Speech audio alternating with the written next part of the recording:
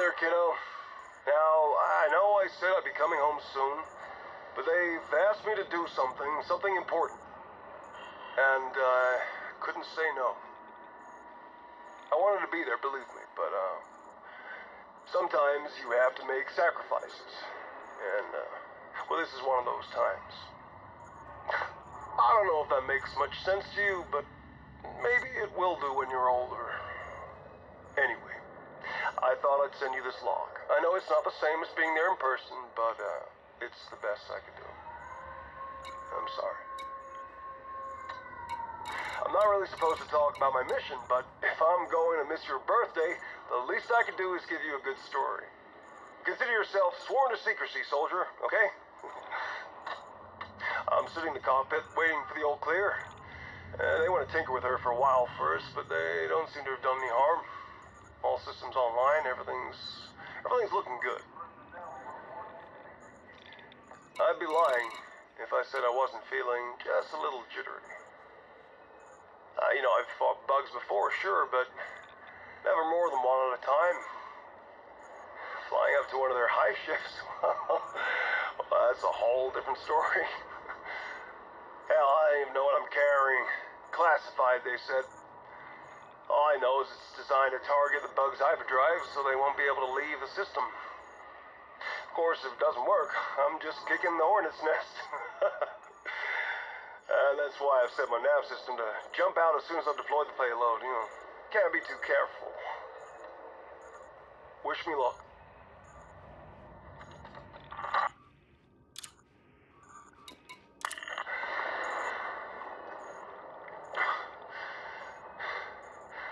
Was almost too easy. Thread my way past the perimeter, mass the heat signature so it get close to superstructure. I tell you, I've never seen a hive ship up close before. Doubt many people have. It was amazing, kiddo. Beautiful, really. Makes you realize just how smart they are, how how advanced. I admit it. I hesitated for a moment before I hit the button. I had to remind myself it wasn't them I was attacking, just their technology. Uh, as if this mycoid virus theirs even works. Man. I watched the payload rocket into the belly of their ship and stuck around just long enough to make sure it hit home. Then I punched the throttle. Whoa! Whew! I'm coming home, kiddo. I'm coming home.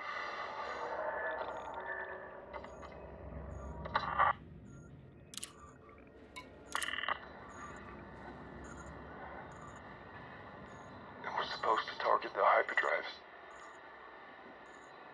That's what they told me, just the hyperdrive, so we'd be safe again. So we could live without fear. Well, it did a hell of a lot more than that. There are sensors on the payload so I can monitor the reaction and make sure it activated properly. I- I'm staring at the data now. It... The weapon is... lethal. They knew what it could do. They knew what it could do and they used it anyway. How many have we killed? Thousands? Millions? God forgive us.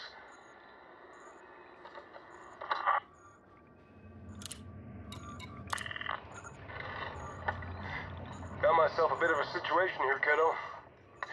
My guess is that they installed a program in my ship and set it to trigger after I deployed the payload. All my systems are dead. The uh, controls are out. Can't even access the escape pod. And the ship is on a collision course. and there is nothing I can do about it. We need to inspect your ship, Commander. How did I fall for a ruse like that? Oh, God. oh, I'm at least partly to blame. Old, careless. I should have quit years ago. I guess I should have known they wouldn't be coming back. And the bug's dangerous, no doubt about it. But, uh, well, this is mass murder we're talking about. Uh, you can understand why they want to keep it a secret. I know some men wouldn't want to admit they've killed thousands of sentient beings. Uh, I guess, I guess the guys back at base think they're doing me a favor by burying me out here in the black. Personally, I'd rather people knew what happened, even if I didn't come out of it looking too good. I don't have much time. There's a big old plan in my viewport, and it's getting bigger every second. People will talk about what I did after I'm gone, the missions I flew, the things I accomplished.